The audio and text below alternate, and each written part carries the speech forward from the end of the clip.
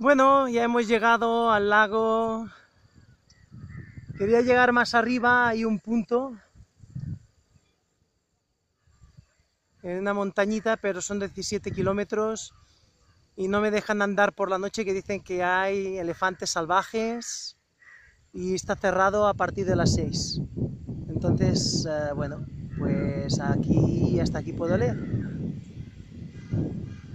Bueno, besos.